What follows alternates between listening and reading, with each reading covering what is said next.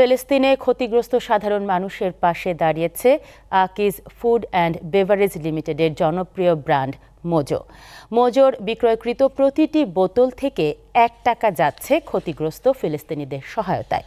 তারই ধারাবাহিকতায় মঙ্গলবার বিকেলে ময়মনসিংহ নগরীতে আয়োজন করা হয় মোজো সাপোর্ট প্যালেস্টাইন র্যালির। মোজোর এই মহৎ উদ্যোগে অংশ নেয় ময়মনসিংহের সর্বস্তরের মানুষ। ময়মনসিংহ পলিটেকনিক মাঠ থেকে বর্ণাঢ্য র্যালিটি নগরীর Charpara, Dhopakhola, C K Ghosh road, Natun Bazar, town হল হয়ে সার্কিট হাউসে গিয়ে শেষ হয়।